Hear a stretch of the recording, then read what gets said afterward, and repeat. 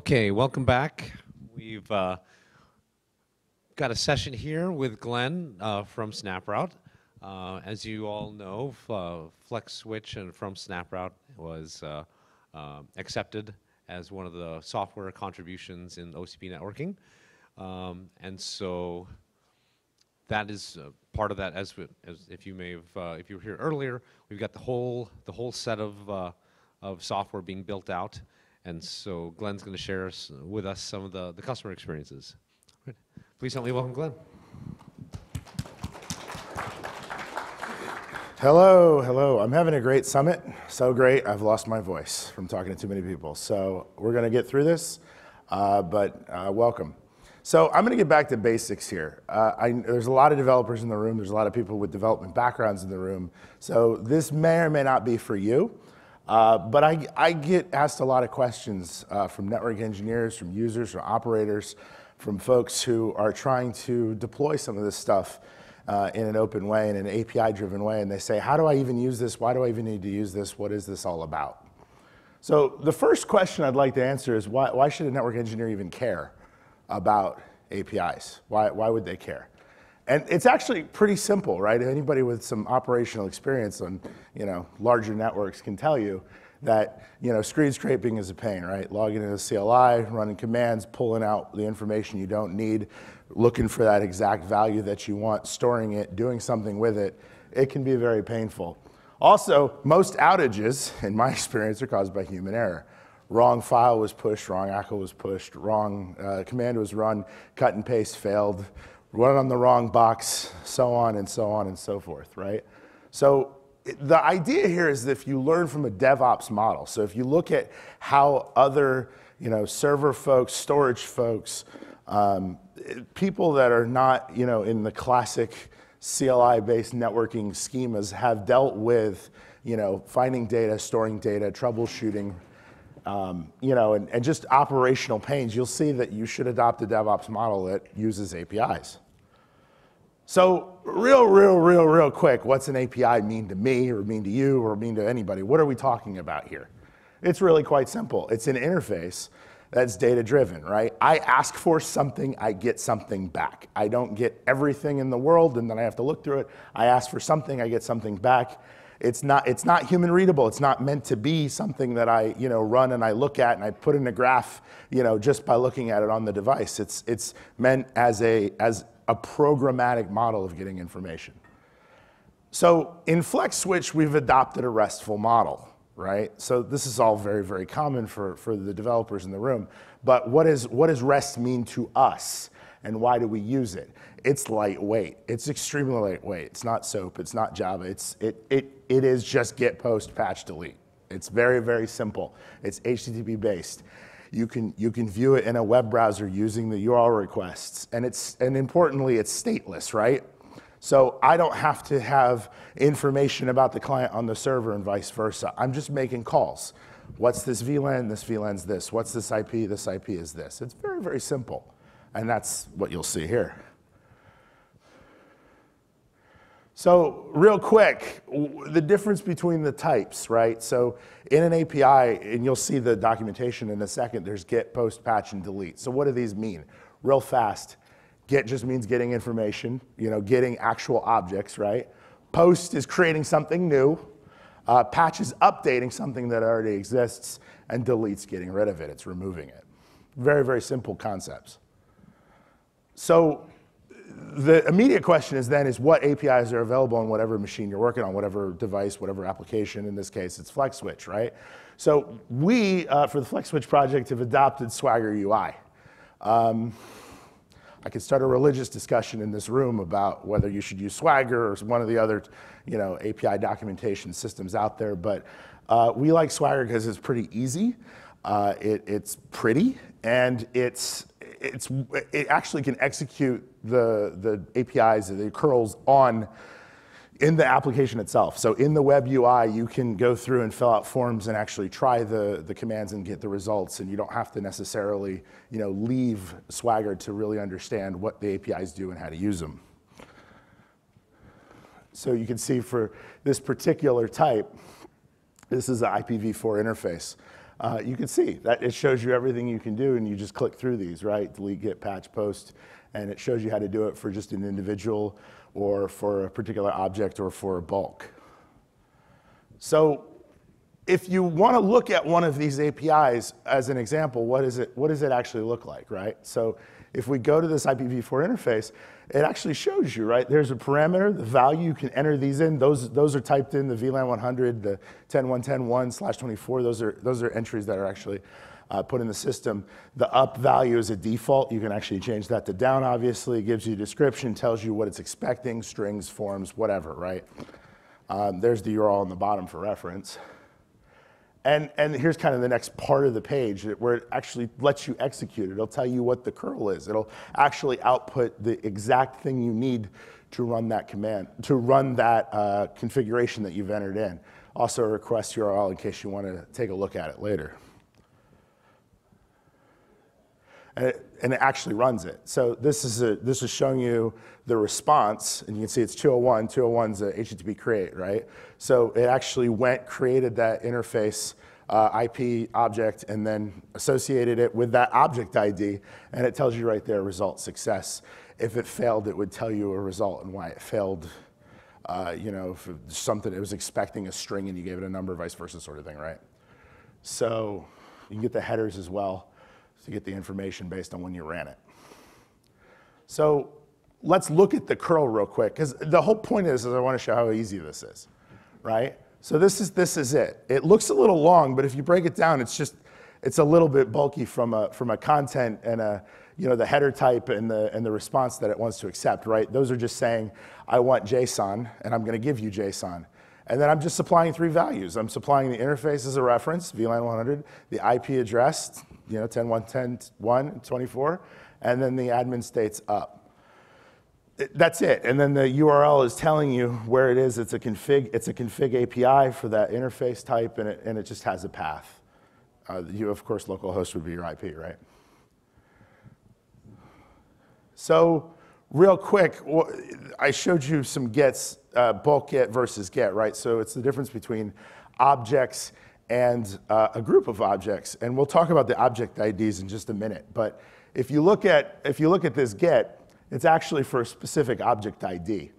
So you can see that that object ID is tied to VLAN 100. I can query for that if I want to store those object IDs somewhere locally as I'm programming whatever my interface that I want to program. If you're writing a CLI, if you're writing some other you know, GUI, something that you want to actually do things with these objects, you can store these object IDs for later off box or on box if you so choose. And the difference here is this is everything. So it's, it's really quite simple, just add an S at the end, right? So now it's IPv4 interface, which is not human readable or sayable, but it's up there with an S. And now you'll see it's VLAN 100, VLAN 200. Uh, it shows you all three of the things that we configured before, the interface type, the, the state, and of course the IP address. So just one little thing on object IDs here. Why are they so important? It's because it gives us a unique way of identifying the different objects in the system. Every single object, an IP address, a port, a, a route, a BGP neighbor, a insert name of anything you'd have on a device, right? It has an object ID, and that object ID is unique, and it's programmatically generated so that you can reference that throughout the course, the runtime course of the device. It changes on, on config, right? So it's, it's generated when you configure it. When you create the object, it, it binds it to an object ID. So you can use that programmatically if you were, you know, grab all the interfaces and step through them and pull in more information out. It allows you to uh, scale, write things for scaling so that you're not always dumping everything at the same time. So you're not saying, what's all the interfaces? Show me all the interfaces all the time. Uh, and then real quick, just showing the difference between config and state. So uh, in, in, in FlexSwitch, we keep track of two different, there's actually events as well, but I, I, won't get into them here. But in the, in, the, in the realm of configuration, there's two different uh, sets of parameters you could have for any object, right? So on the left is the config. It's what I've showed you several times now. It's just what we've configured. And on the right, kind of stored sep completely separately in the database is a state. So that gives you all the information about it. Is it operationally up? You'll see if you can read that, the VLAN 200 is not operationally up. It's, it's down. It didn't have any interfaces associated with it, so it's down. We have an auto admin state up, but that's a different, that's a different story, right? So you can see all the information about that VLAN as it's running, um, which is of course different than config. This allows you to be able to make changes and then va- validate state based on what you did. So I make a config change, I check the config side, uh, I see what it does to the state side, and because they're separate, they're, you can treat them separate in a sort of cause and effect sort of way when you're doing your, your programmatic configurations. Um, and then finally, uh, where do you get started, right? I, I think the best uh, place to get started was with the Docker configuration. Um, we have a Docker version up on Docker Hub. It has all of this in it. Um, this was actually generated from it. Uh, it's, it has the, the Swagger APIs. It has, the, it has all of the configuration abilities uh, of FlexSwitch just running in Docker. Uh, so it creates virtual interfaces and things like that. You can set up ping, you can set up BGP, you can set up OSPF, uh, and just use the APIs and, and see how to configure it before putting it on a real device in production. And that's it. Any questions? Oh, where'd Omar go? There he is.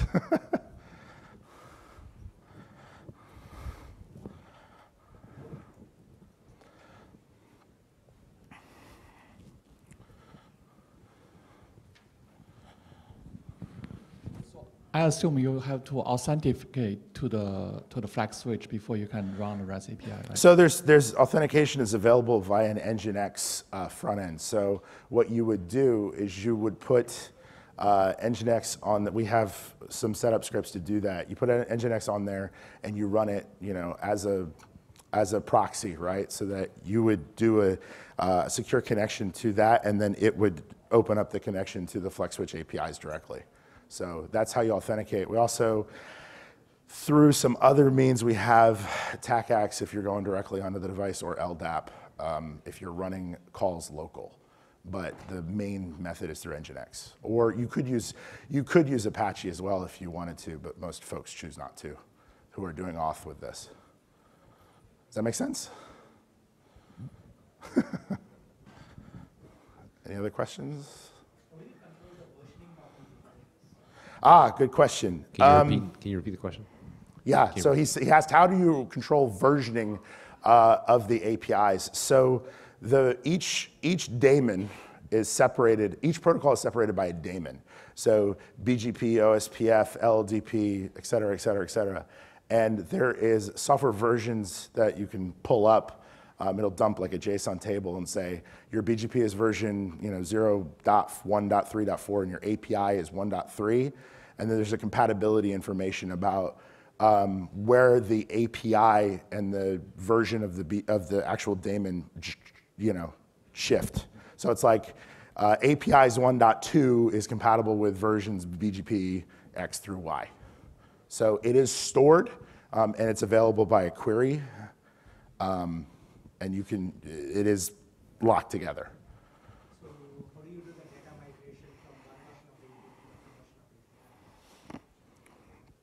We haven't had too much of that It was because a data migration question from one version of the API Yeah. to the other version of the API. Omar's good at this repeat the question thing. Um, yeah, so you would, you would have to do that right now manually, um, but we don't actually move the data models much.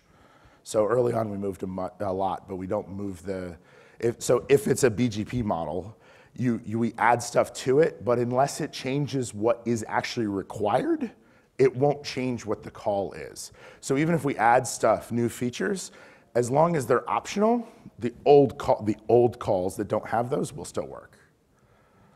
So the only time it would change is if we like rename the API, which we did in the beginning a lot, and it was very frustrating. But now we've we've pretty standardized on that. So there's a question in the back.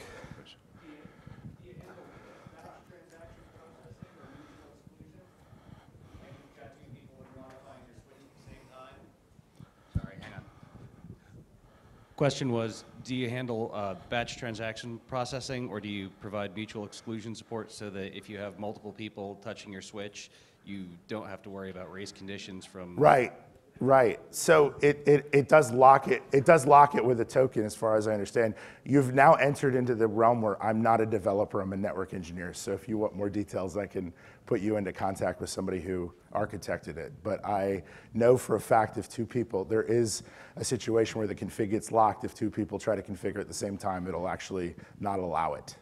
It won't allow two people to modify the same object at the same time. But I don't know the mechanism it does it. But that's a great question.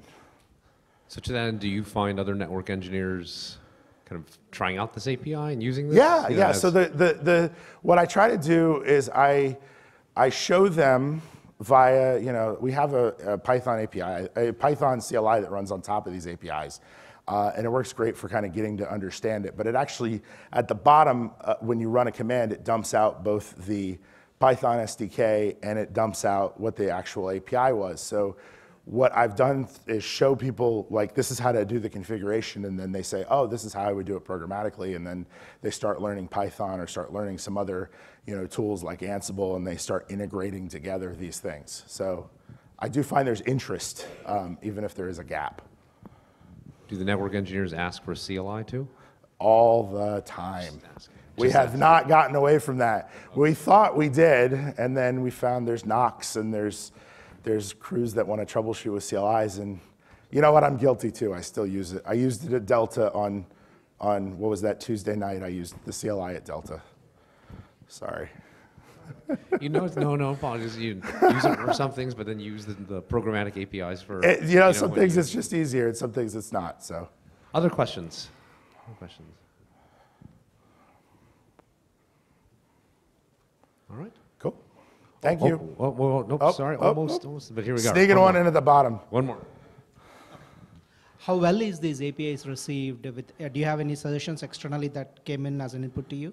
Apstra. Have you guys heard of Apstra? Yeah, they love them.